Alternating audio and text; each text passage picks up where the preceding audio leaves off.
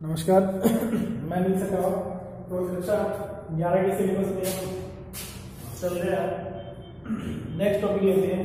इसी समतल में एक समान तौर से गति की समतल एक समान तौर यानी तौर का जो मान है, वो चेंज नहीं हो रहा है। मोस्ट में ऐसे रिलेशन है? उसमें हम गति के जो समीकरण है, वो हमें बताने विस्थापन। मोस्टली विस्थापन बताने क्या होगा इसके लिए?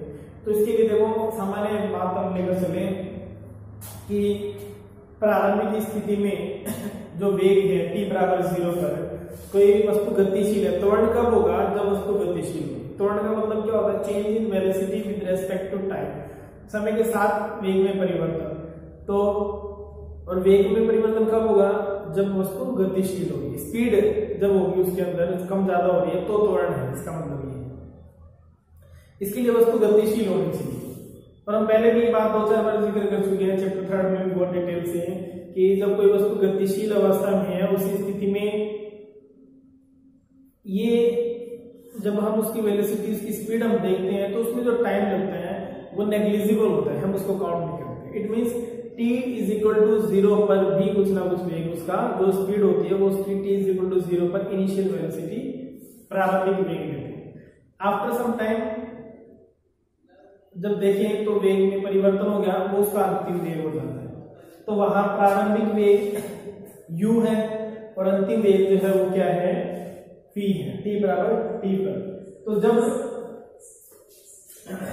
ये मान के चल रहे हैं, इसी समतल का मतलब क्या है? समतल का मतलब कि वहाँ दो एक्सिस है, x और y, द्वितल है। तो उसी स्थिति में द्वितीय गति है। तो माना माना कि कण जो है वो एक्स वाई तल में गतिशील है।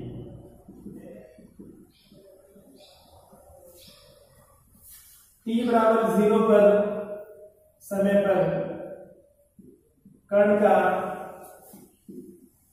प्रारंभिक वेग यू है। और जब समय t बराबर t आफ्टर सम टाइम कुछ भी समय है, उसको t लिख रहे हम t है तो कण का जो अंतिम वेग है, वो परिवर्तित वेग, वो है v. तो त्वरण कैसे निकालेंगे त्वरण की समीकरण क्या होता है? तो त्वरण क्या होता है? वेग में परिवर्तन बटे समय में परिवर्तन। वेग में परिवर्तन बटे समय में परिवर्तन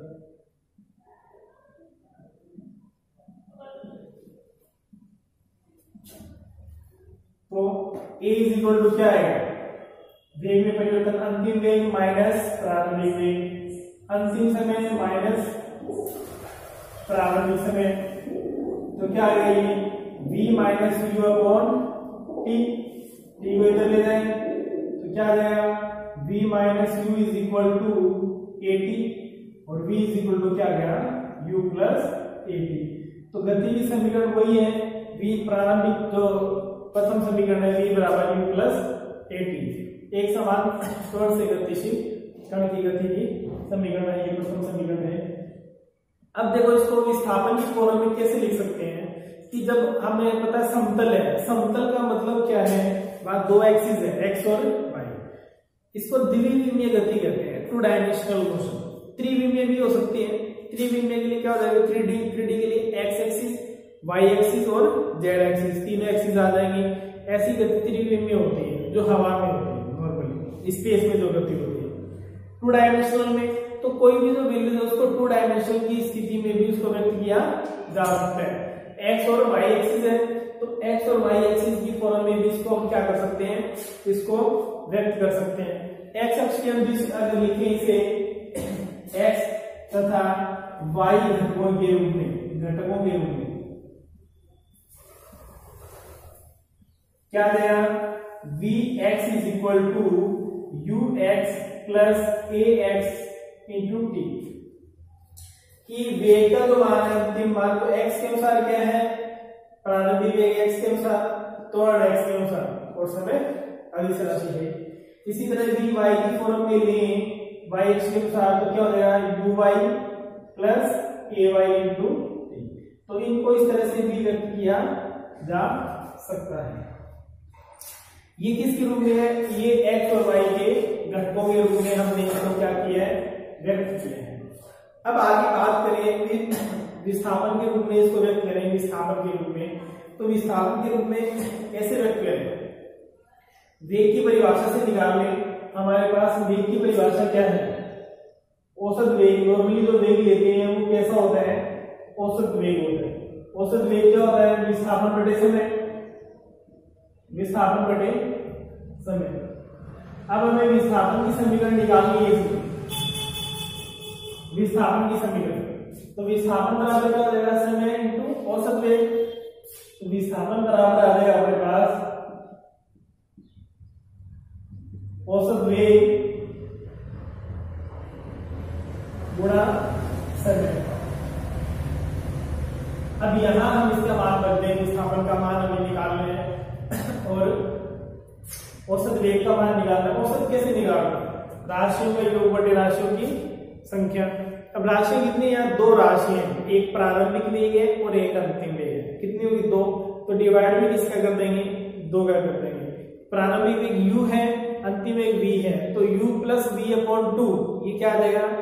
ये औसत वेग तो औसत वेग की वैल्यू क्या आएगी? u plus V upon two v की वैल्यू हम सॉल्व कर चुके हैं। क्या u प्लस एटी तो सारी एक ही फॉर्म में आ जाएगी, u, a की फॉर्म में आ जाएगी सारे मान v वहाँ से हट जाएगा क्योंकि v की वैल्यू हम सॉल्व कर चुके हैं. V इज़ इक्वल टू क्या होता है? हम जानते हैं डायरेक्ट भी रख सकते हैं इस बात को. V is equal to u plus A समय क्या है? T है ही समय तो क्योंकि ये प्रोसेस कितने समय में हो रही है? T समय में. T पुट कर दे अब देखो विस्थापन क्या है. विस्थापन को यहाँ एक अलग फॉर्म में व्यक्त कर सकते हैं. कैसे? कि नॉर्मली हमें पता है ज़ीरो समय में ज़ीरो विस्थापन होगा ये बात हमें पता है ज़ीरो समय में क्योंकि अगर हम एक कदम की दूरी तय करते हैं तो भी उसकी में कुछ ना कुछ समय लगता है। ज़ीरो समय में तो कोई दूरी तय नहीं हो सकती। लेकिन एक कंडीशन हम ऐसी ले रहे हैं कि इनिशियल कंडीशन जब हम स्टार्ट कर रहे हैं, जब हम स्टार्ट कर रहे हैं टाइम नोट करना, उससे पहले हम विस्थापन तय कर चुके हैं कि जैसे मान लो मैं वहाँ से यहाँ तक आ चुका, अब मैं देखना शुरू करूँ कि यहाँ टी बराबर ज़ीरो है। तो यहाँ टी बराबर ज़ीरो पर शुरू होने से पहले कुछ दूरी मैंने तय कर रखी है, जहाँ से मैं कैलकुलेशन करना चाहता हूँ वहाँ से। वहाँ से तो दूरी तय कर तो यहाँ टी बराबर ज़ीरो पर तो कुछ ना कुछ तो विस्थापन हो ही गया। अब आफ्टर सम टाइम टी पर कुछ और विस्थापन तय हो जाएगा। वो अंतिम विस्थापन तो डिफरेंस क्या है? दोनों का डिफरेंस ले लेंगे यहाँ से और वहाँ तक का। तो टी बराबर ज़ीरो पर लें नॉर्मल वे में अगर रनिंग कंडीशन में कहें तो t बराबर ज़ीरो पर विस्थापन ज़ीरो होता है। लेकिन एक इनिशियल केस हम क्या लेकर चल रहे हैं कि अगर हम पहले से हम डिस्प्लेसमेंट कवर कर चुके हैं, विस्थापन, कुछ हमने दूरी तय कर रखी है पहले से, जहाँ से हम कैलकुलेशन करना शुरू कर रहे हैं, वहाँ से दूरी तय कर रखी है तो t बराबर ज़ीरो पर विस्थापन कितना है? कुछ ना कुछ है। उसको हम आर ज़ीरो मान लेते हैं। तो विस्थापन की फॉर्म अगर इसमें निकालें इसके अंदर सारे मान रखेंगे कि t बराबर ज़ीरो पर, t बराबर ज़ीरो पर विस्थापन मान लेते हैं ये क्या है? विस्थापन माना क्या है? आर ज़ीरो तो t बराबर t पर विस्थापन क्या है? आर है। तो विस्थापन कितना आएगा? अंतिम माइनस प्रारंभिक। तो विस्थापन क्या आया? कहते हैं displacement difference of displacement is equal to R minus R तो इस समीकरण में, इसी समीकरण नंबर एक दे देता हूँ। समीकरण एक से क्या लिख सकते हैं? समीकरण एक से R minus R naught R zero is equal to औसत में क्या आएगा? U plus V upon two और गुणा में क्या आ जाएगा? टी अब v की वैल्यू पुट कर। दो v की वैल्यू क्या है ये? U प्लस एट ये रख देते हैं अपने। तो यहाँ रख देंगे। ये आ जाएगा। R minus R naught u plus u plus A T upon two into T multiply कर दो, चाहे पहले डिवाइड कर दो, बाद में मल्टीप्लाई कर दो, कैसे भी, जैसे समझ में आए वैसे कर दो। ये क्या हो गया? Two U plus A T upon two into T two से इसमें डिवाइड करेंगे टू से टू कैंसिल आउट हो गया? यू बचा टी अंदर मल्टीप्लाई होगा तो क्या आएगा? यू टी प्लस यहाँ क्या आएगा? एक बटा दो। ए टी इंटू टी क्या टी स्क्वेयर क्या गया? आर माइनस आर तो आर नॉट क्या आ जाएगा आर नॉट इधर आगे प्लस हो जाएगा. R naught plus U T plus one by two A T square ये क्या है? ये विस्थापन की समीकरण है किस स्थिति में? जब एक समान गति हो रही है, उस स्थिति में अगर विस्थापन की समीकरण करें तो ये होगी। नॉर्मल हम क्या पढ़ते हैं? हम पढ़ते हैं I X S is equal to U T plus half A T T स्क्वायर गति की दूसरी समीकरण वो गलत नहीं है वो सही है। लेकिन इनिशियल केस में क्या ले सकते हैं हम? कि पहले से अगर कोई दूरी कवर कर रखी है तो वो भी उसके अंदर क्या करना पड़ेगा? ऐड करना पड़ेगा। अगर मान लो हम यहीं से प्रारंभ करते हैं, यहीं से कि हम यहीं से कैलकुलेशन करना चाहते हैं सारी, और यहीं से चलना प्रारंभ करते हैं तो ये जो तो दूरी होगी, वो T is equal to zero से शुरू होगी। टी बराबर ज़ीरो उस समय दूरी भी क्या है? ज़ीरो है। प्रारंभिक दूरी ज़ीरो है। तो उसी स्थिति में क्या जाएगा आर इज़ इक्वल टू इसका तो मान ज़ीरो गया पहले से तय की गई दूरी कुछ भी नहीं है। तो उस समय इसका जो मान क्या हो जाएगा? ज़ीरो जाएगा। ज़ीरो तो आर इज़ इक्वल क्या जाएगा? U T plus half A T इसके तो ये जो समीकरण नंबर दो है, उसमें हमने आर नोट लिया वो ध्यान रखें आप। आर नोट प्रारंभिक स्थिति में विस्थापन है। जब टी बराबर ज़ीरो है। तब तक विस्थापन हो चुका है, वो है ये। ठीक है? तो समीकरण दो क्या बता रही है? एक समान त्वरण से गतिशील कण के विस्थापन को व्यक्त करती है। ये बात आप ज़रूर समीकरण दो, एक समान त्वरण से गतिशील कण के विस्थापन को व्यक्त करती है। अब आप इसको x और y की फॉर्म में भी व्यक्त कर सकते हैं।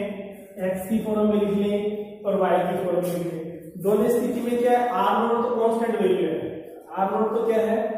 कांस्टेंट है। तो किसमें x की फॉर्म में जब ले रहे हो तो क्या आ जाएगा? Ux t अदिश राशि है। ठीक है? है और a का जो मान है, त्वरण, जो सदिश राशि वो अलग अलग दिशाओं में अलग अलग वैल्यूज़ की ले सकते हैं, उसको तीन कंपोनेंट में डिवाइड कर सकते हैं। कहाँ से करते हैं? नॉर्मली हम R vector is equal to क्या लेते हैं? एक्स आई के प्लस वाई जे के प्लस जेड के के यानी जो एक्स वाई निर्देशक है जेड इन तीनों को हम आर वेक्टर की फॉर्म में लिख सकते हैं। तो यहाँ से आप इसको ये द्वितल द्विविमीय गति है इसलिए हम इसको द्विविमीय की फॉर्म में भी व्यक्त कर सकते हैं।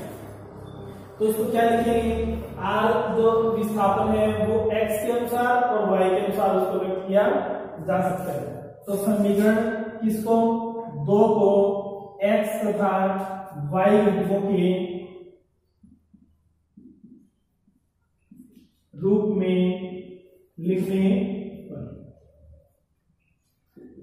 एक्स और वाई में लिखेंगे तो आर को तो लिख दिया एक्स और दूसरी समीकरण लिखे वाई एक्स और मिल जाएगा R naught as it is plus U X T plus one by two A X T square इसी तरह से R naught plus U Y T plus one by two A Y T square इस तरह से इसको जो है simplify किया जा सकते हैं। अब ये दोनों जो समीकरण है, जो समीकरण तीन हमने नाम दिए इसको, ये दोनों समीकरण क्या बता रही है? कि एक समान गति के लिए विस्थापन को व्यक्त करती है, जिसमें x और y, x और y लंबवत विस्थापन है। यानी x और y में पता क्या होते हैं? लंबवत होते हैं एक दूसरे के। तो ये x के अनुसार विस्थापन को व्यक्त कर रही है और ये y के अनुसार विस्थापन को व्यक्त कर रही है।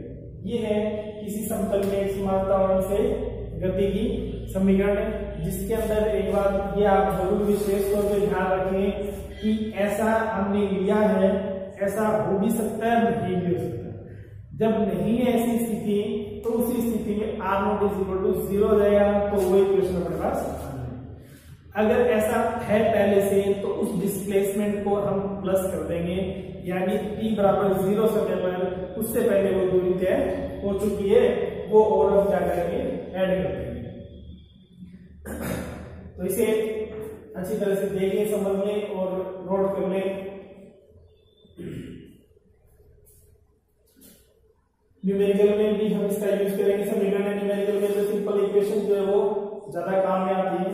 बाकी भी, बाकी अगर एक समान त्वरण से काट रहे हैं तो एक समान त्वरण के लिए ये उस विस्थापन को व्यक्त करती है, जिसके लिए एक समान त्वरित गति हो रही है। बाकी बातें नेक्स्ट क्लास में करेंगे। तब तक आप इसको रिवाइज करें, पढ़ें सोल्व करें। कोई भी कंफ्यूजन हो तो डाल दें कमेंट बॉक्स में। हम बाद में जब प्रॉब्लम क्लास लेंगे, तब इसके अंदर और सोल्व कर लेंगे, अगर किसी को दिक्कत आए तो। तब तक आप रिवाइज करें। Thank you